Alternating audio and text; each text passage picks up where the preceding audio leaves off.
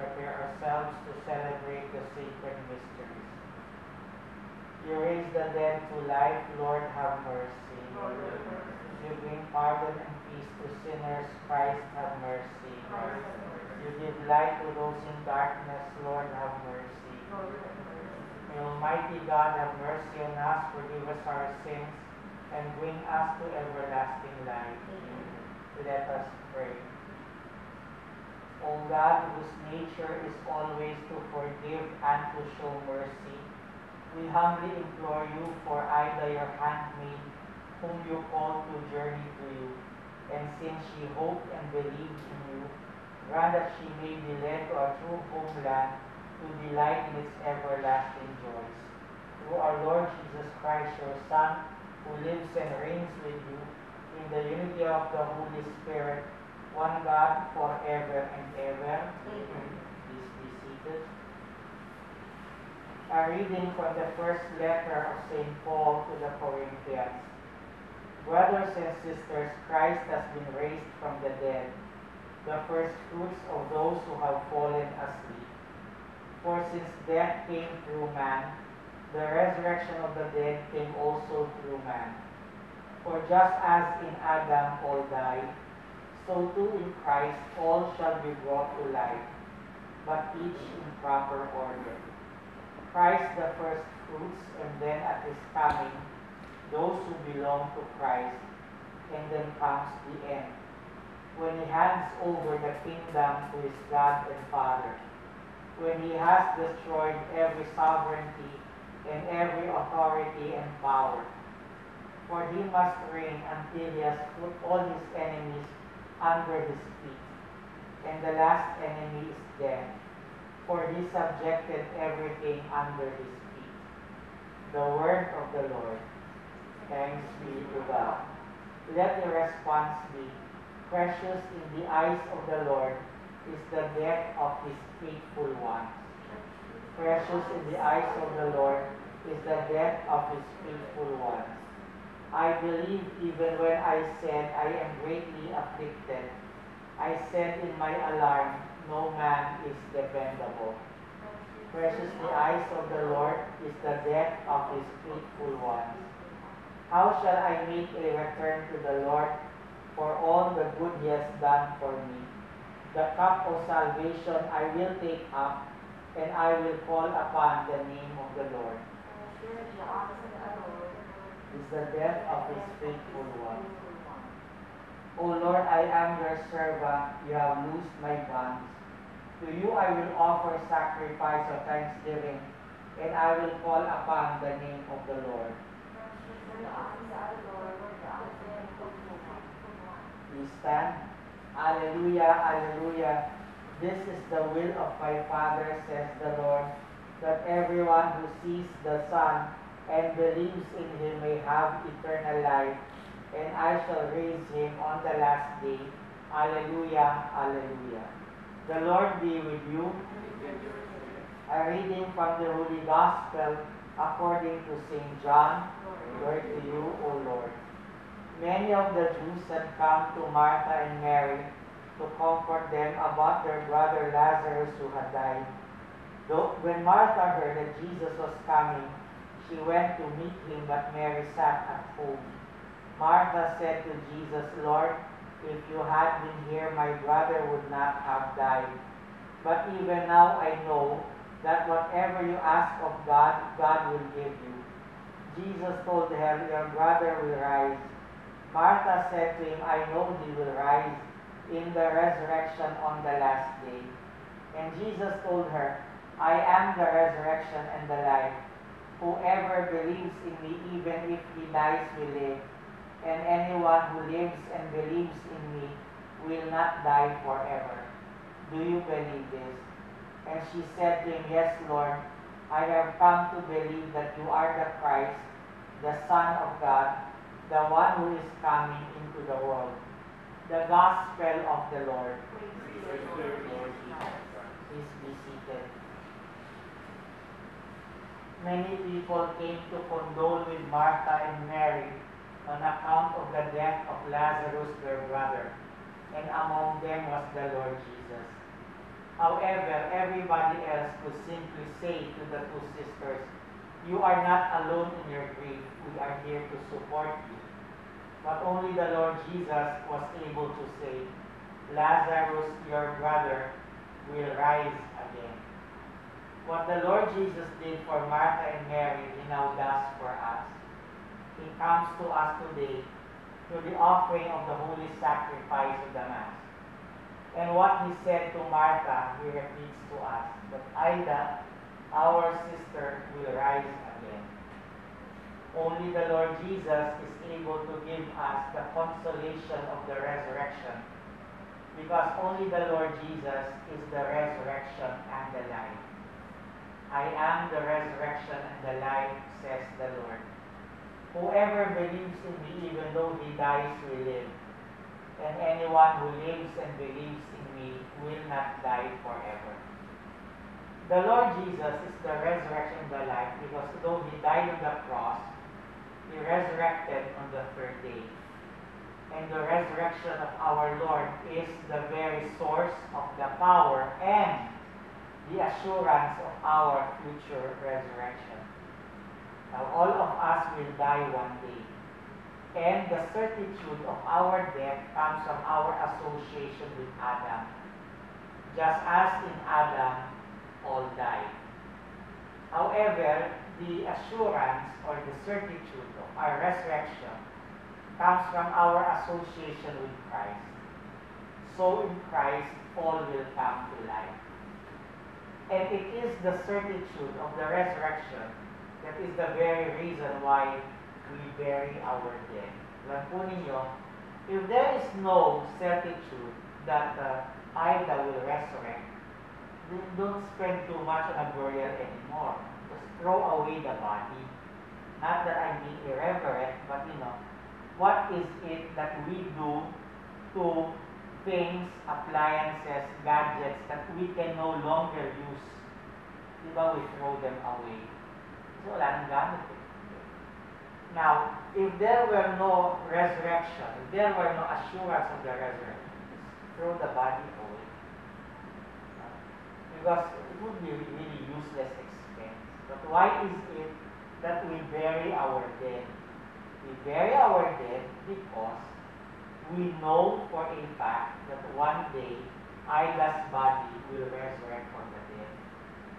And in the cemetery, her body will sleep the long slumber of death until she is awakened by Christ on the morning of the resurrection. And while Aida's body is asleep in death, we do all we can to atone for her sins. And that is the reason why we have masses said for the dead. We do this to atone for her sins while she is asleep in death, so that when the morning of the resurrection arrives, Aida will not resurrect unto condemnation, but rather she shall resurrect unto eternal life. Please stand. Blessed are you, Lord God of all creation, for to your goodness we have received this bread we offer you, fruit of the earth and work of human hands, it will become our bread of life. Blessed are you, Lord God of all creation, for through your goodness we have received this wine we offer you, fruit of the vine work of human hands, it will become our spiritual drink.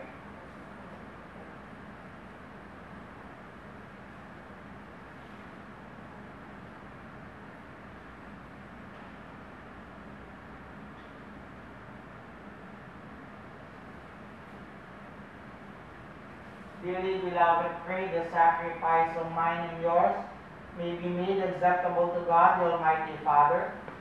May the Lord accept the sacrifice for our hands.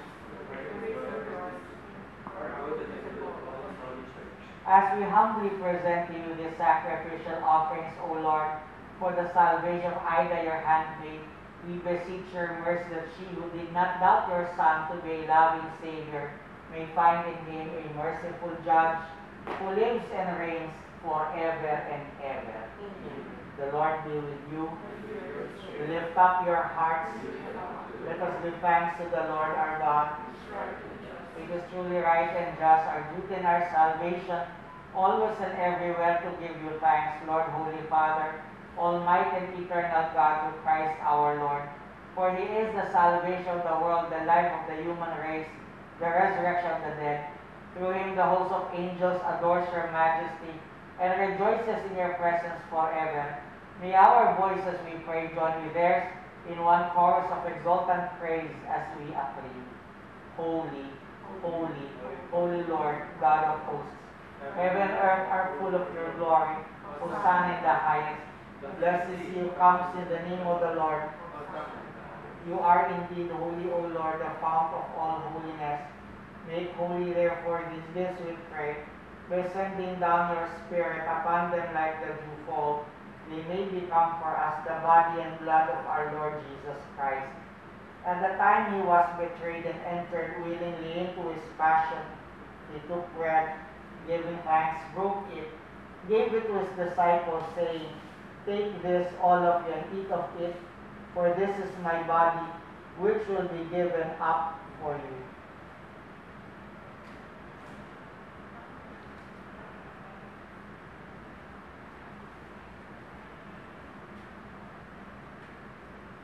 In a similar way, when supper was ended, he took the chalice and once more giving thanks, he gave it to his disciples, saying, Take this, all of you, and drink from it.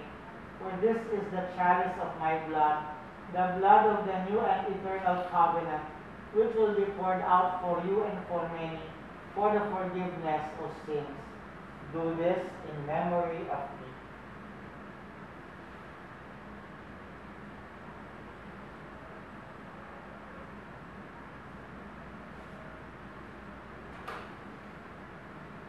The mystery of faith. Therefore, as we celebrate the memorial of his death and resurrection, we offer you, Lord, the bread of life and the chalice of salvation, giving thanks that you have held us worthy to be in your presence and minister to you. Humbly we pray that partaking of the body and blood of Christ, we may be gathered into one by the Holy Spirit. Remember, Lord, your church spread throughout the world. Bring her to the fullness of charity, together with Francis our Pope, Honesto our Bishop, and all the clergy. Remember Aida, a handmaid whom you have called from this world to yourself. Grant that she was united with your Son, death like his, may also be one with him in his resurrection. Remember also our brothers and sisters have fallen asleep in the hope of the resurrection, and all who have died in your mercy. Welcome them into the light of your face. Have mercy as all we pray to the Blessed Virgin Mary, Mother of God, Blessed Joseph, her spouse, the blessed apostles, and all the saints of peace throughout the ages. We may merit to be co-heirs to eternal life. May praise and glorify you through your Son, Jesus Christ. Through him, and with him, and in him, O God Almighty Father, in the unity of the Holy Spirit, all glory and honor is yours forever and ever. At the Savior's command, formed by divine teaching, we dare to say, Our Father, who art in heaven, hallowed be thy name. Thy kingdom come, thy will be done on earth as it is in heaven. Give us this day our daily bread. Forgive us our trespasses, as we forgive those who trespass against us. And lead us not into temptation, but deliver us from evil. Deliver us, Lord, we pray, from every evil. Graciously grant peace in our days. By the help of your mercy, we may always be free from sin and safe from all distress, as we await the blessed hope and the coming of our Savior, Jesus Christ. Lord Jesus Christ, who said to your apostles, Peace I leave you, my peace I give you. Look not on our sins, but on the faith of your church. Graciously grant her peace and unity in accordance with your will, who live and reign forever and ever. Peace of the Lord be with you always. Lamb of God, take away the sins of the world, have mercy on us. God, you take away the sins of the world, have mercy on us. Lamb of God, you take away the sins of the world, grant us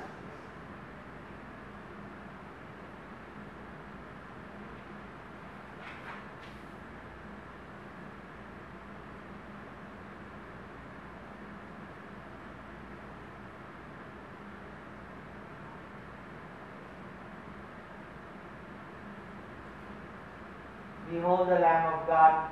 Behold him who takes away the sins of the world. Blessed are those called to the supper of the Lamb. Lord, I am not worthy you should enter under my roof. Only say the word, and my soul shall be healed.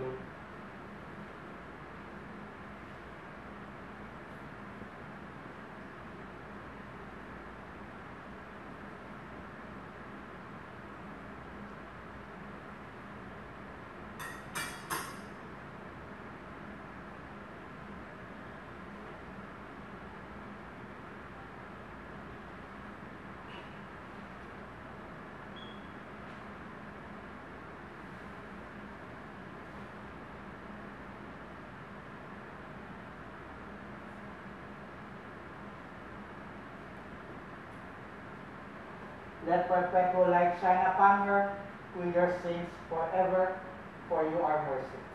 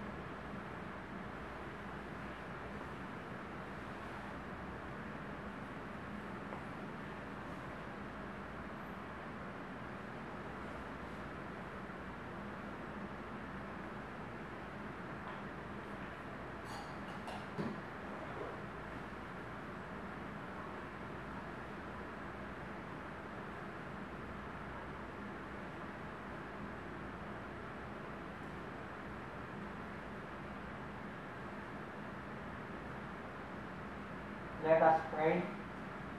Lord God, whose Son left us a sacrament of his body, food for the journey, mercifully God strengthened by it, I, our sister, may come to the eternal table of Christ, who lives and reigns forever and ever.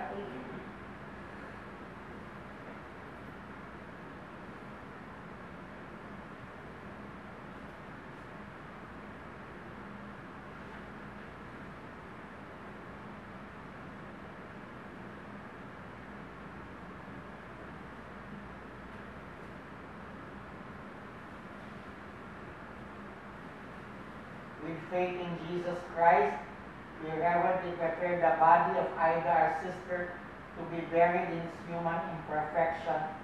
Let us pray with confidence to God, who gives life to all things, that He will raise up this mortal body to the perfection and the company of the saints.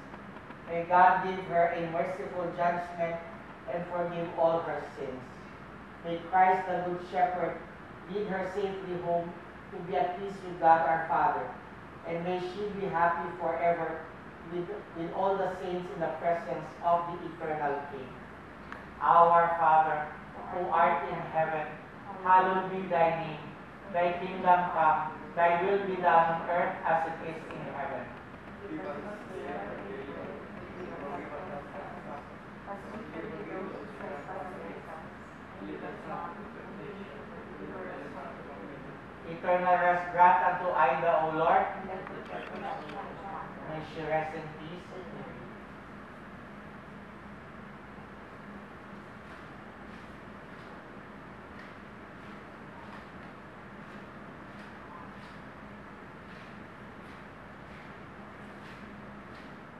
on God my Savior. I know that my Redeemer lives, and on the last day I shall rise again.